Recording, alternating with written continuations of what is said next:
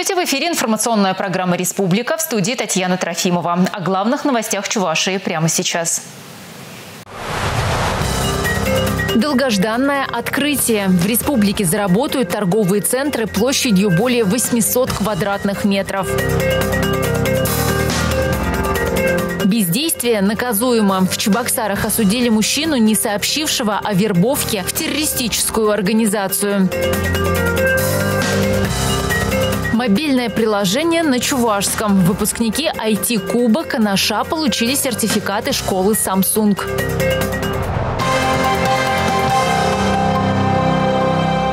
Масочный режим в этом учебном году для педагогов обязателен, а вот с учеников этого требовать не будут. В республике снимут часть ограничительных мер, связанных с коронавирусом. Об этом стало известно на очередном заседании оперштаба по предупреждению завоза и распространения новой коронавирусной инфекции.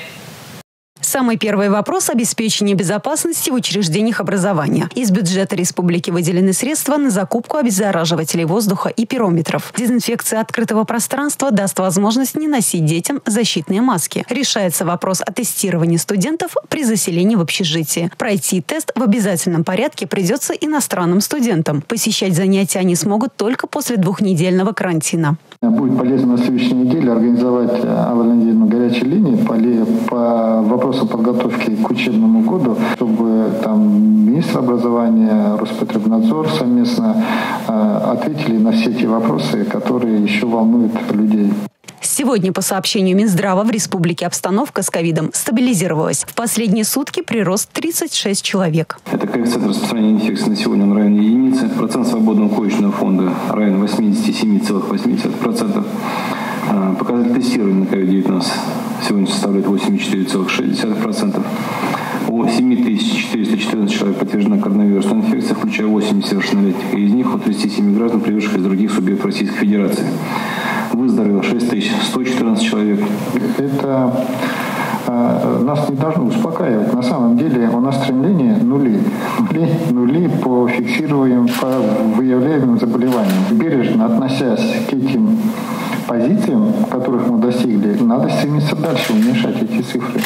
Участники оперштаба согласились, что с такими показателями можно возобновить деятельность торговых центров площадью более 800 квадратных метров. При этом важно соблюдать все рекомендации Роспотребнадзора. Э, единственное, у меня просьба, давайте вот отработаем вопрос личной ответственности. Все-таки там что-то должно быть. Либо это письмо в адрес Минэкономразвития, либо оформление декларации безопасности, чтобы собственник обозначил письменно, что он берет. Потому что в данном случае мы все-таки имеем, э, имеем э, дело не с закрытой предприятием, которое имеет четкие границы проходную, а такое открытое пространство. И собственник должен сказать, как бы, да, я беру ответственность и обеспечиваю за счет вот тех э, своих ресурсов, которые у меня есть, охрана, клининг и так далее, и так далее. Если у собственника нет такой возможности, может он лучше подождет некоторое время и соответствующим образом подготовиться. Это очень важная составляющая. Несмотря на положительную динамику в целом, в ряде муниципалитетов ситуация с ковидом все еще оставляет желать лучшего. Здесь имеет смысл обратить внимание на Новочебоксарск, где на этой неделе зафиксирован самый высокий рост заболеваемости. Канашский район э, выявлено самое большое количество новых случаев заражений. Что касается реабилитации граждан, э, на сегодняшний день поступили, э, Олег Алексеевич, 152 заявки от лиц, которые хотят пройти реабилитацию в наших учреждениях. В республику сегодняшнего дня начали поступать вакцины для осенней противогриппозной прививки. Почти 85 тысяч для иммунизации детей и около 160 тысяч для взрослого населения. До конца месяца препараты для вакцинации поступят и на предприятиях. Наталья Мальчикова, Юрий Марков, Республика. Как часто мы слышим от представителей власти различного уровня, что они не могут решить вопросы за отсутствие полномочий, разобраться, кто за что отвечает и как работает механизм финансирования, призвана правительственная комиссия по проведению инвентаризации полномочий органов местного самоуправления. Ее первое заседание прошло сегодня. Вопрос разграничения полномочий органов власти различного уровня обсуждался не раз. Эту тему поднимал в своих обращениях и президент Владимир Путин. Разночтение в документах и последствующих действиях создает проблемы. Возникают практически постоянно различные вопросы, дискуссии и сложности в работе.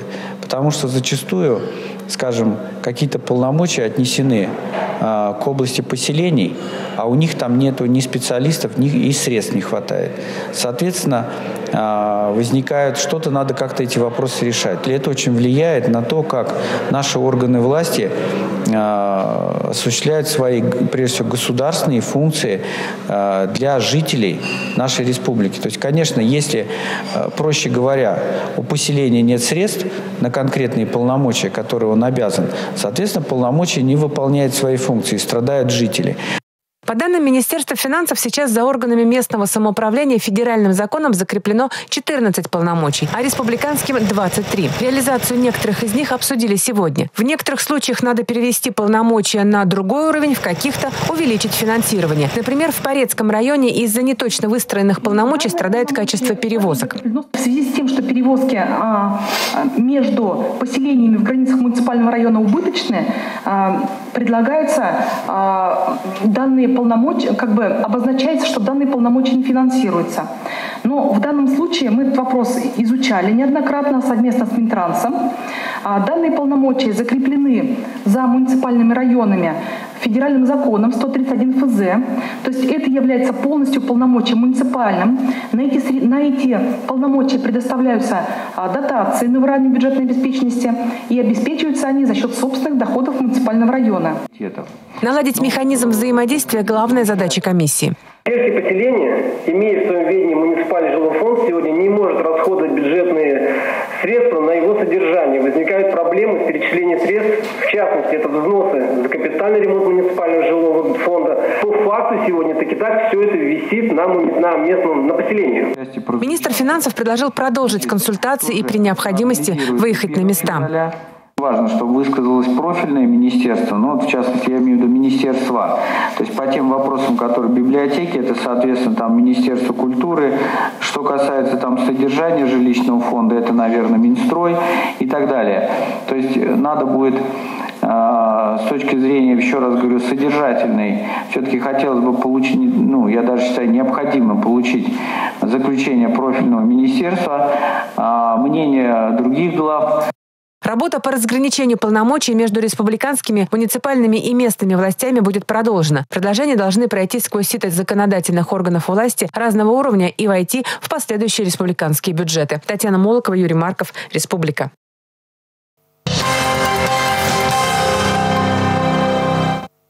Молчание тоже преступление. В Чебоксарах осудили молодого человека, не сообщившего о вербовке в террористическую организацию. Подробности в нашем сюжете. Если кто-то из ваших воюет э, или делает джихад, э, сообщите об этом полицейским, чтобы потом как, чтобы не было плохо, как и мне сейчас. Сейчас этот молодой человек, назовем его Рамис, знает, как нужно поступить, если тебя призывают вступить в террористическую организацию. Тогда два года назад думал, если отказался, совесть чиста. Рамис родился в Чебоксарах, но мальчику не подошел местный климат, и его отправили в Таджикистан. Там он близко общался со своим двоюродным братом. Они учились в одном классе. Связь поддерживали, и когда Рамис вернулся в Чувашию. В 2016 году он улетел в Сирию.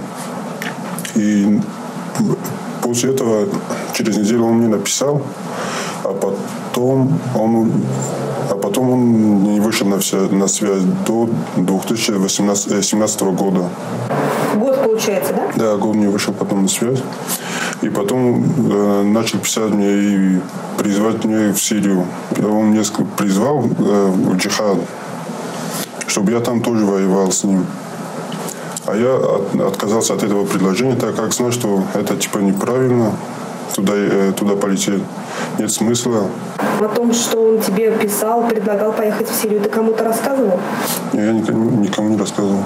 Но скрыть это не удалось. Переписку в соцсетях обнаружили органы госбезопасности. Молодой человек испугался за себя и за брата, поэтому даже во время опроса пытался скрыть, что его вербовали в террористическую организацию. Ленинский районный суд Чебоксар признал Рамиза виновным в совершении преступления, предусмотренного статьей 205 пункт 6 Уголовного кодекса Российской Федерации наказывается штрафом в размере до 100 тысяч рублей или в размере заработной платы или иного дохода осужденного за период до 6 месяцев, либо принудительными работами на срок до одного года, либо лишением свободы на тот же срок. Этой проблемой озабочены и представители национальных диаспор на территории Чувашии. Их цель не наказать, а предупредить подобные преступления среди молодежи. Одна из самых активных – чеченская община. По моменту прибытия сюда новых, новых молодежи, которые выезжают в центральные регионы России, Чеченской республики, мы на, на местах с ними начинаем работать. Выясняем их так сказать, мировоззрение, понимание их ислама, понимание их отношений, так сказать, закон, законодательской федерации, адаптации их местности, местной молодежи, среди местной среде. Проводим такие мероприятия и стараемся им помочь во всех этих а, щепетильных моментах, чтобы они каким-то образом знали, что есть другие народы, у других народов есть своя культура, свои обычаи, свои традиции, что мы должны каким-то образом ассимилироваться и адаптироваться в этой среде. Мы работаем со своей молодежью непосредственно в регионе России и готовы сотрудничать с другими землячествами, передавая им опыт своей работы. Невежество в своей вере – основная причина, по которой молодые люди оказываются вовлеченными в террористические организации, считает председатель Духовного управления мусульман Чувашии Айрат Хайбулов.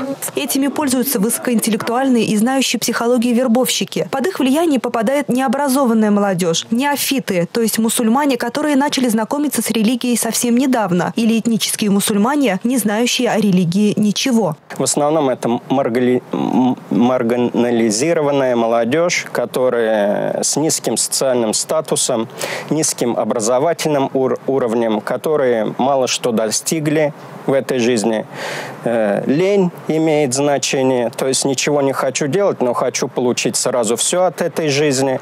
И поэтому они легко, становятся легкой добычей для вот этих э, псевдорелигиозных проповедников. И вот эти молодые люди не понимают, что они попадают в их зависимость. Они не исламу э, служат, а служат интересу именно врагов Э, и ислама, и России, и Всевышнего Аллаха, и э, становится на сторону шайтана. Поэтому мы советуем всем мусульманам изучать досконально свою религию, приходить в мечети, не где-то собираться э, у каких-то псевдопроповедников, неизвестно откуда появившихся, не лазить э, по просторам интернет, где информация на 90% извращенная в области ислама. Свою вину Рамис признал полностью. С учетом содействия раскрытию преступления, отсутствия судимости и удовлетворительных характеристик по месту жительства и учебы, он получил минимальное наказание – штраф в 50 тысяч рублей и жизненный опыт. Оставаться в стороне и наблюдать, как совершается преступление – это тоже преступление. Теперь Рамис знает это наверняка. Надежда Яковлева, Игорь Зверев, Республика.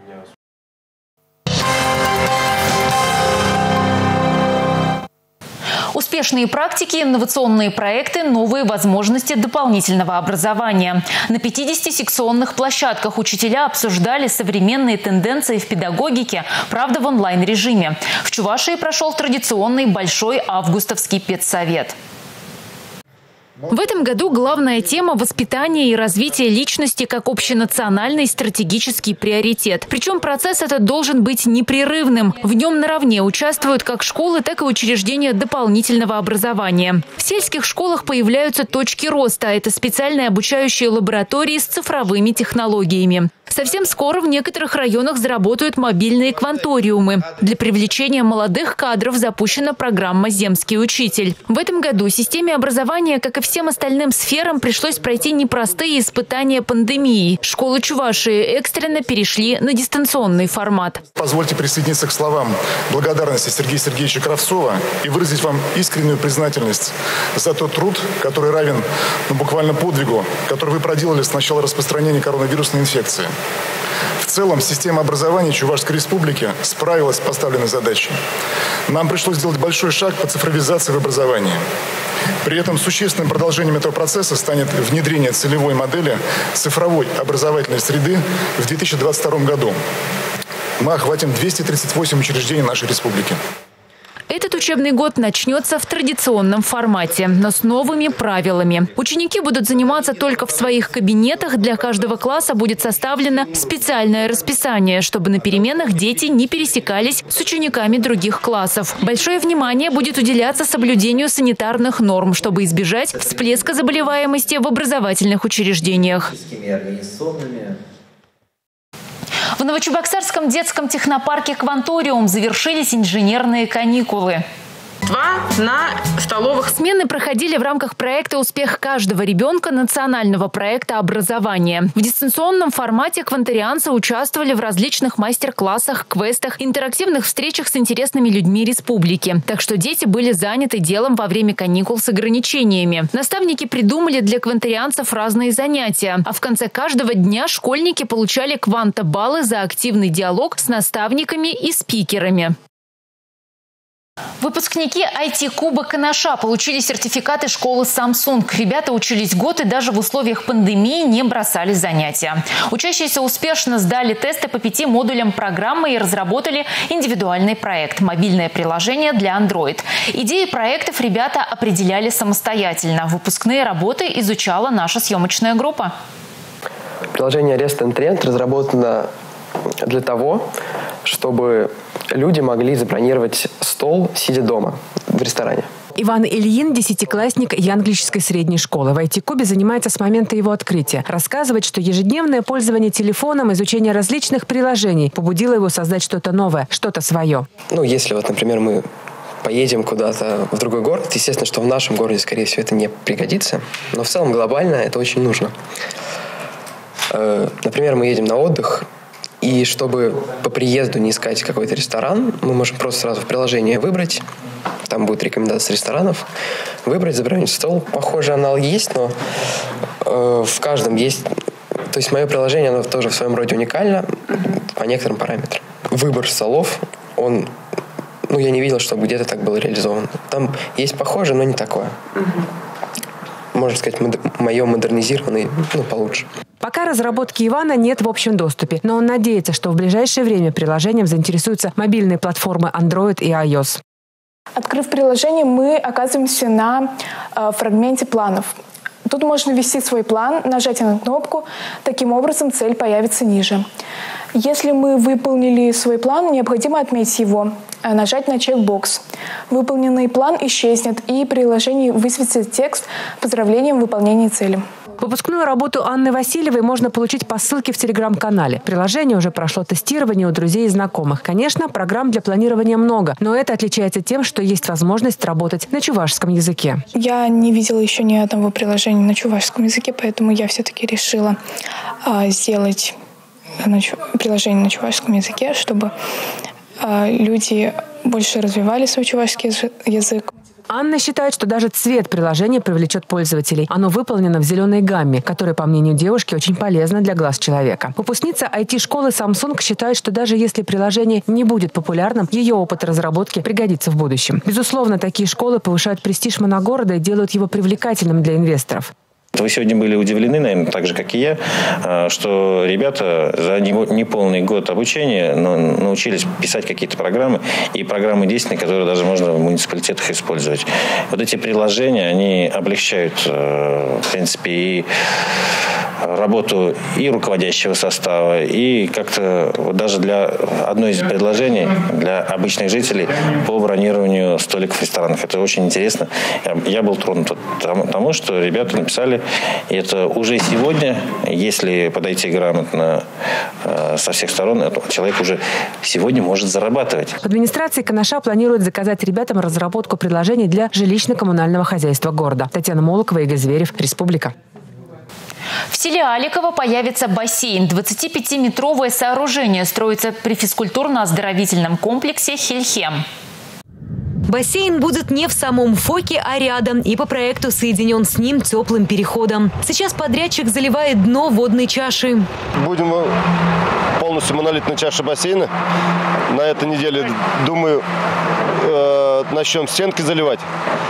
Будем монтаж металлоконструкции начнем. Проект давно экспертизы прошел, и этот, она корректируется сейчас на новую экспертизу, проект готовим. Новые нормативы уже вышли, по новым нормативам что-то будет меняться на ходу. Большая часть средств на строительство бассейна выделена из федерального бюджета в рамках проекта «Спорт. Нормы жизни» нацпроекта «Демография».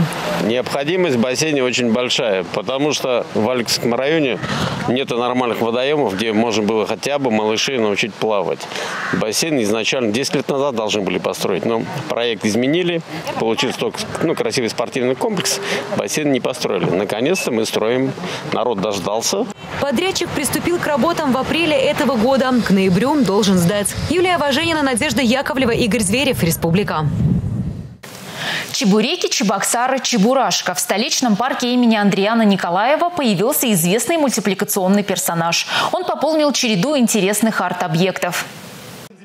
Добродушный образ мультгероя с большими ушами и большими глазами полюбился всем детям. Премьера советского мультфильма «Крокодил Гена» состоялся в далеком 1969 году. Там же и прозвучала знаменитая так, че, э, че, че, че, чай, чемодан, чебуреки, чеб, чебоксары.